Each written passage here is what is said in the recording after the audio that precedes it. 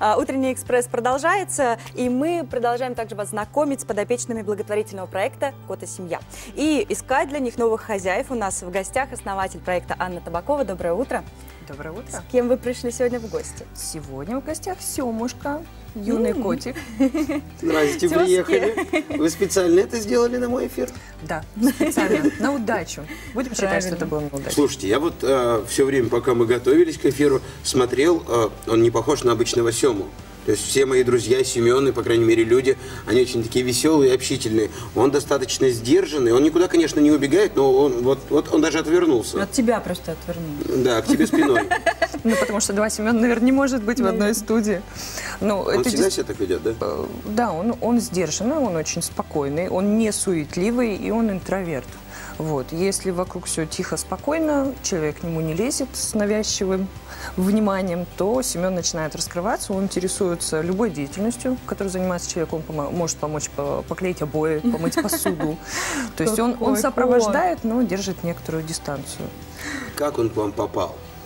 А, Семен попал к нам с мамой-кошкой. Случилось так, что мама-кошка забралась в частный дом и родила там котят. И вот с новорожденными котятами Семен попал вместе со своей мамой. Сколько ему тогда? Я думал, он уже большой, Он мужик. уже, да, он уже большой, ему два года. Всё Два верно. года он, Да. Он на еще- передержке, можно так называть? Да, да, безусловно. То есть два года мы пока не можем найти того самого человека. А как он с другими котами, животными? ну, Тоже держит дистанцию. То есть Даже всё- с соколом. да. Еще бы.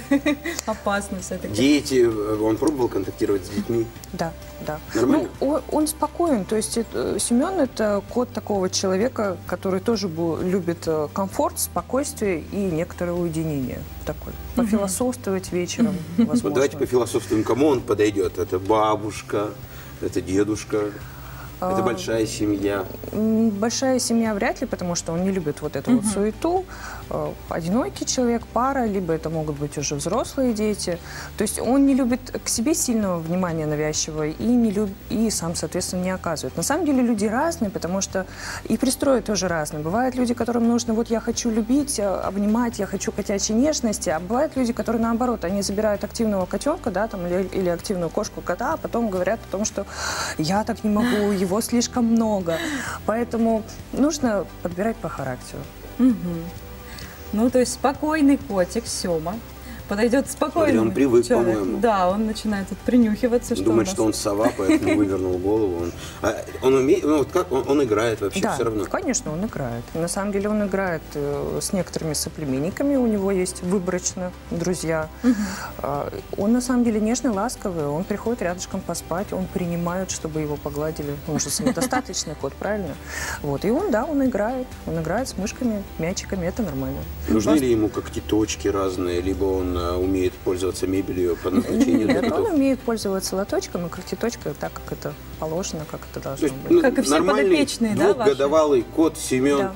Полностью приспособленный к жизни. И Да. даже если у вас есть просто четырехкомнатная квартира, э, он, в принципе, без вас замечательно в ней Да. проживет, если вы будете приходить и ухаживать за ним. Да, То есть верно. лишнего внимания какого-то он не требует к Да, себе. да, да. Но и лишний раз не подойдет, не начнет мурлыкать Да. и вот так вот э, об ноги, об твои как Получается, гладиться. это брат Леона?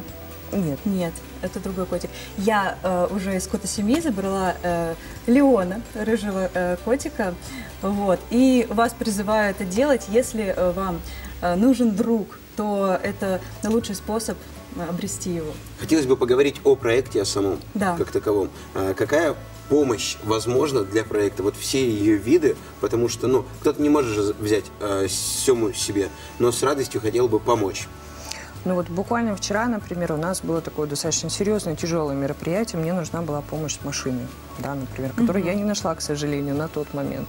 А, это может быть помощь информационная, потому что забот много, хлопот много, да, и а, постоянно курсировать, вот, э, поддерживать актуальность информации мне тоже достаточно тяжело. Поэтому даже можно, не выходя из дома, действительно помогать, помогать А как узнать о том, что нужна помощь? То есть где, э, в каких э, каналах? А, Инстаграм. Нужно, нужно просто написать в Инстаграм и предложить какую-либо помощь, описать свои возможности.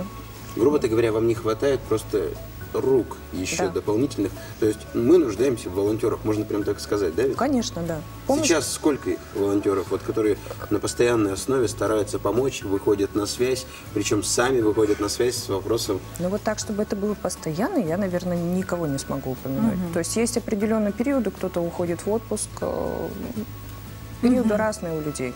Поэтому да, есть в принципе чем больше, постоянные, тем есть у нас постоянные друзья, когда, которые всегда с нами, если не физически, то всей душой и всем сердцем, да. Но таких людей немного на самом деле. И это нормально, когда приходят новые люди, это нормально. Ну и если кто-то захочет забрать э, Сему или кого-нибудь другого, также Сему, пожалуйста, в Инстаграм обращайтесь. А, правильно, в Инстаграм все можно написать, спросить, посмотреть, да? Да, да. Я люблю общаться, я всегда поддерживаю диалоги и рассказываю очень подробно о характерах, о привычках, чтобы человек не брал кота в мешке. Мгм, мгм. У меня, кстати, вот такой вопрос. Вот это семья.